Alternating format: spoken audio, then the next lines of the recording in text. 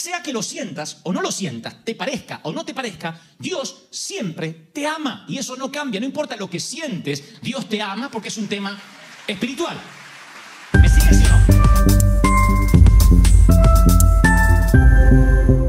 Dante Gebel, en esta enseñanza poderosa, expone un tema central y profundo de la teología cristiana, que tiene el poder de redefinir nuestra comprensión sobre la verdadera identidad espiritual y el propósito de cada persona. Gebel enfatiza cómo cada ser humano está compuesto por tres partes esenciales, el cuerpo, el alma y el espíritu. Estas tres dimensiones no solo nos definen como individuos, sino que también dictan cómo experimentamos y vivimos nuestra relación con Dios y con los demás.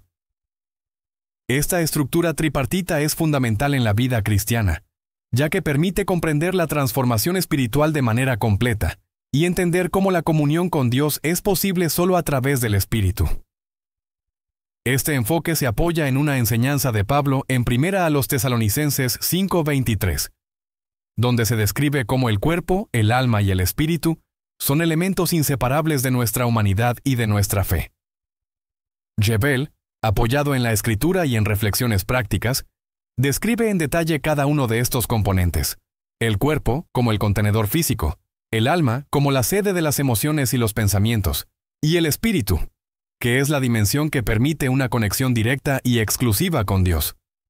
A lo largo de este mensaje, Gebel explica cómo cada una de estas partes cumple una función importante en la vida del cristiano, pero señala especialmente la importancia del espíritu, ya que es el que nos permite vivir una vida espiritual plena en comunión con Dios.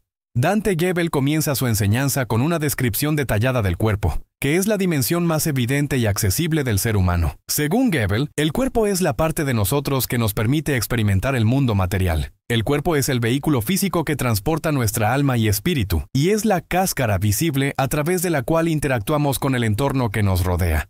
A través de nuestros sentidos, la vista, el oído, el olfato, el tacto y el gusto, el cuerpo se convierte en el medio a través del cual percibimos el mundo físico.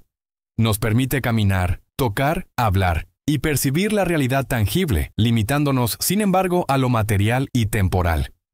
Gebel explica cómo el cuerpo tiene la capacidad de percibir el dolor, el placer, el cansancio, el hambre y todos aquellos estímulos que definen la existencia física del ser humano. Desde el momento en que nacemos, somos conscientes de esta dimensión física, reconocemos nuestras propias características, si somos altos o bajos, si tenemos un color de piel específico, una complexión particular, etc. Y a medida que crecemos, aprendemos a identificar nuestras propias limitaciones y capacidades. Sin embargo, el cuerpo tiene un alcance limitado. Solo permite la experiencia del mundo físico y no tiene la capacidad de conectar con lo espiritual o lo divino. Gebel lo explica claramente. Aunque el cuerpo nos permite relacionarnos con otros seres humanos y con el entorno, no tiene la capacidad de conectar con Dios, ya que su función está restringida al plano físico. Para ilustrar esta limitación, Gebel utiliza el ejemplo del contacto físico. Si alguien te toca el hombro, puedes percibir de inmediato esa interacción porque tu cuerpo reacciona a esa sensación física. Sin embargo, esa percepción se detiene en el cuerpo y no alcanza el ámbito espiritual, pues el cuerpo no está diseñado para la conexión con Dios. Este concepto es fundamental para entender por qué la experiencia cristiana no puede depender únicamente de lo físico o de las emociones que se experimentan a través del cuerpo, ya que estos no son suficientes para vivir una verdadera relación O sea, el espiritual con Dios. No es como te ves o cómo actúas. Dios te está viendo en el espíritu. El verdadero tú no es ese que miras al espejo. ¿Cómo A lo largo de la Biblia encontramos ejemplos de personajes que, a pesar de sus limitaciones físicas, fueron usados poderosamente por Dios. Grandes profetas, reyes y discípulos experimentaron debilidades físicas, pero su relación con Dios era fuerte porque la conexión espiritual no dependía de su estado físico. Esto muestra que el cuerpo, aunque es importante para nuestra vida terrenal, no es el medio a través del cual Dios se manifiesta plenamente. La fragilidad del cuerpo humano no impide que Dios actúe en nosotros y a través de nosotros, ya que su relación con nosotros no se basa en nuestras capacidades físicas, sino en nuestra fe y en nuestra conexión espiritual. El segundo componente en el análisis de Dante Gebel es el alma, que representa la sede de nuestras emociones, pensamientos y experiencias internas. Mientras que el cuerpo es el aspecto externo y físico del ser humano, el alma es la parte de nosotros donde residen nuestras percepciones, sentimientos y deseos. El alma, en este sentido, es mucho más que la conciencia de uno mismo. Es el centro de nuestros pensamientos, nuestras emociones y es donde se forja nuestro carácter. Es en el alma donde experimentamos el amor, la tristeza, la ira, la alegría, el temor y todas aquellas emociones que definen nuestra vida interior Gebel explica que, a diferencia del cuerpo, el alma puede verse afectada sin necesidad de un contacto físico directo. Un comentario hiriente, una palabra de aliento, una mirada comprensiva o un gesto amable pueden penetrar en el alma y dejar una marca profunda. Las palabras, las actitudes e incluso las experiencias que vivimos afectan nuestro estado emocional y mental. Esto es importante para entender cómo el alma reacciona al mundo que nos rodea, ya que no necesita un estímulo físico para ser impactada. Basta con que algo penetre en nuestra mente o en nuestras emociones para que el alma sea influenciada. Gebel utiliza un ejemplo claro y cotidiano para explicar cómo funciona el alma. Si alguien nos dice una palabra hiriente, no toca nuestro cuerpo físicamente, pero sí afecta nuestras emociones y pensamientos. Ese comentario llega directamente a nuestra mente y nuestro corazón, causando dolor o frustración. De manera similar, una palabra de aliento o un elogio puede impactarnos positivamente y darnos una nueva perspectiva o motivación. Esto demuestra que el alma, a diferencia del cuerpo, es el receptor de las experiencias emocionales y mentales, y juega un papel central en la forma en que vivimos e interpretamos nuestras vivencias. Sin embargo, Gebel enfatiza que el alma también tiene una limitación. No puede acceder a Dios de manera directa. Aunque el alma es capaz de experimentar una gran variedad de emociones, no es la fuente de nuestra relación espiritual con Dios. La Biblia enseña que Dios se comunica con nosotros a través del Espíritu, y no por medio de nuestras emociones o pensamientos. Aunque nuestras emociones emociones pueden reflejar nuestra relación con Dios, no son la esencia de esa relación. De hecho, la fe en Dios no depende de sentirnos bien o estar felices, ya que el alma no puede acceder al ámbito espiritual. Por fe, tu espíritu cambia cuando aceptas a Cristo en el corazón. Tu espíritu se transforma en una nueva criatura. Tu alma va a tardar en cambiar. Tu manera de pensar demanda muchos mensajes, muchos ADN, esta conexión solo es posible a través del Espíritu, que es la parte de nosotros diseñada específicamente para la comunión con Dios. La parte más profunda y esencial de la enseñanza de Dante Gebel es el Espíritu. Según Gebel, el espíritu es la dimensión más elevada y fundamental del ser humano, ya que es la única parte de nuestra naturaleza que tiene la capacidad de conectarse directamente con Dios.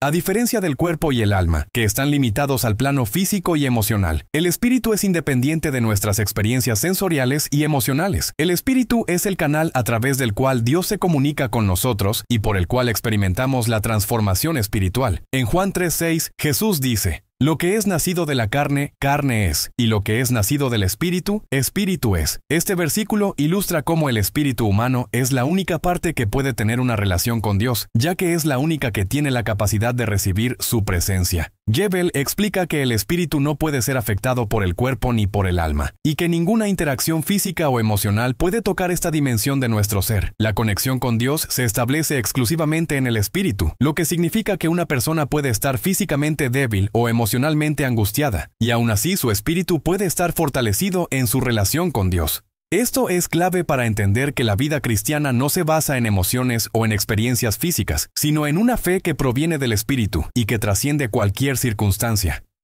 Cuando una persona acepta a Cristo, el Espíritu es transformado y comienza una nueva vida espiritual. Esta transformación se representa simbólicamente a través del bautismo, que es el acto de renacer en Cristo y dejar atrás la vida pasada. El bautismo es una representación externa de un cambio profundo que ocurre en el espíritu del creyente. Gebel explica que la persona que acepta a Cristo se convierte en una nueva criatura, ya que su espíritu es renovado y comienza a vivir una vida en comunión con Dios.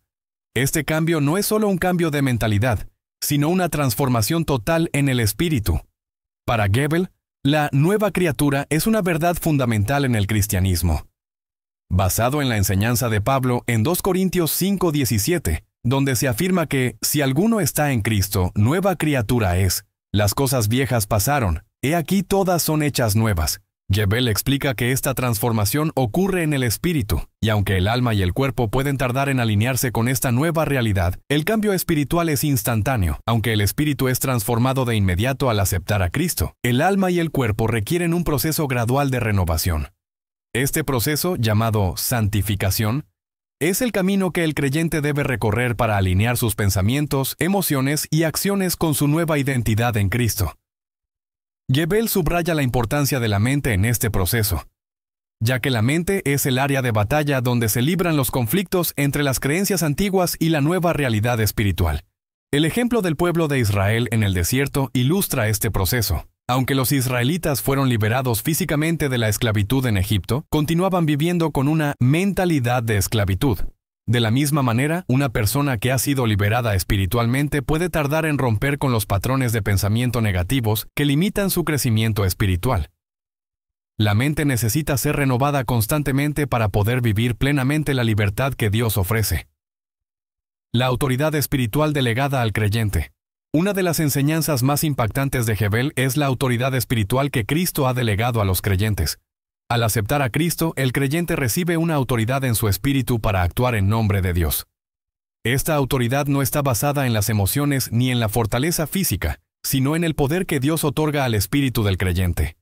Jebel utiliza el ejemplo de Pedro para ilustrar esta autoridad. Al sanar a un paralítico en el nombre de Jesús, Pedro no hace una oración de súplica, sino que da una orden firme.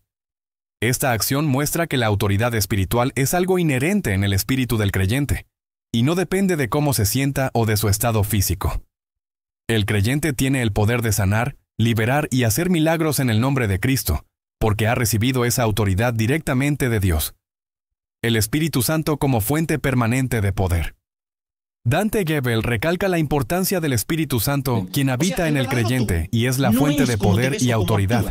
En Pentecostés, los discípulos recibieron el Espíritu Santo y desde entonces, cada creyente tiene acceso a la presencia de Dios de manera constante. Esta presencia no es intermitente ni se limita a los momentos de adoración, sino que está siempre disponible para el creyente, quien puede vivir en una relación constante con Dios y experimentar su poder en todas las áreas de su vida. Conclusión. La identidad y la transformación espiritual, Dante Gebel concluye esta enseñanza llamando a los creyentes a vivir con plena conciencia de su identidad en Cristo y a reconocer la autoridad y el poder que Dios les ha otorgado. La verdadera identidad del creyente no se encuentra en su apariencia física ni en sus emociones, sino en su espíritu, donde habita Dios. Esta comprensión permite al creyente vivir una vida plena y en armonía con su nueva identidad en Cristo, independientemente de sus circunstancias físicas o emocionales. Esta enseñanza invita a los creyentes a ver su relación con Dios como algo que no depende de sus estados de ánimo ni de su condición física, sino de su espíritu renovado en Cristo. Yebel nos recuerda que, para vivir una vida espiritual plena, Debemos entender que nuestra verdadera identidad se encuentra en nuestro espíritu, donde se produce la transformación que Dios realiza en cada uno de nosotros. Y es verdad que estoy gorda y gordo y que me cuelgan algunas cosas, es verdad. No luzco como profeta, es verdad. Pero desde que acepté a Cristo, el Espíritu Santo está dentro de mi espíritu y te echo fuera.